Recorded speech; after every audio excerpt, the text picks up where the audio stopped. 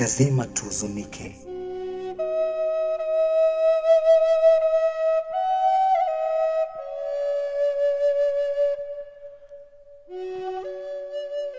Lazima tutabasamu na lazima tucheze.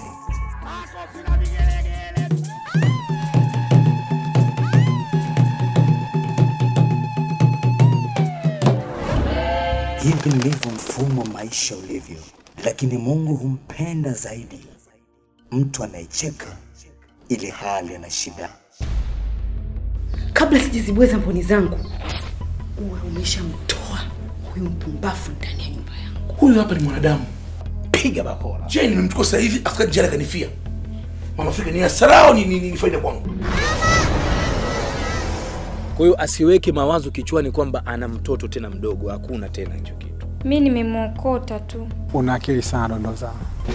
Unatakiwa ujue kwa nini baba yako alikufa.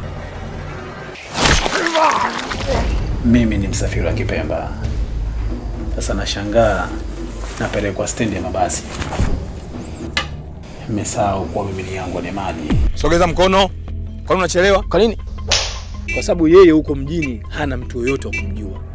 Hana mtu yoyote anaweza akamjua huko mjini. Ina maana atakwenda, atakwenda, atapoteza muda, atapata matatizo hivyo. Kwa nini unakuwa msaliti? Na ni heri usaliti wangu kweupe, lakini sipo tayari kukubali mtoto huyo awe huru.